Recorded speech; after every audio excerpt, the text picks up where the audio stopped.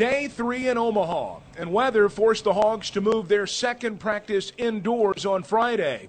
The Hogs were still able to get a quality workout in, a bullpen session, infield drills, and batting practice. The final practice, though, before the team begins the College World Series against Kent State. The Razorbacks say the experience has been incredible so far.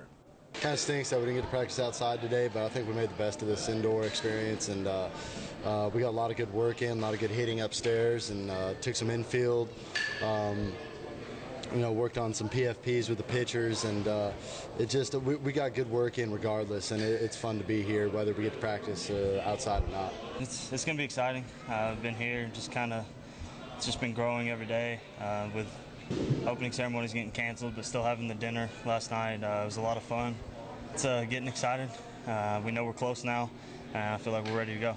Now, there is the possibility of rain throughout the weekend, but the players say that will have no effect on their preparation or their play.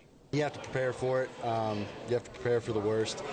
Um, but at the same time, you know, you just uh, you let it go. You kind of look past it. Say you still got to play the game.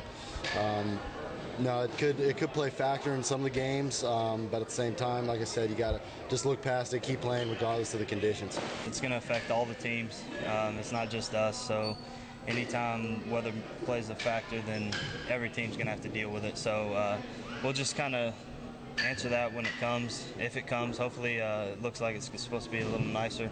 So, uh, hopefully, the weather stays away. Now, after Friday's practice, the Hogs got some downtime to relax and focus before their game tomorrow.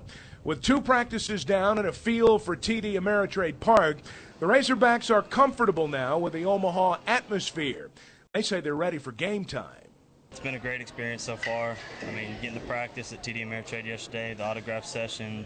Uh, I mean, it's just it's been unbelievable the way the fans just have kind of welcomed us here and have treated us like rock stars. I feel like, and uh, uh, I know we're ready to play.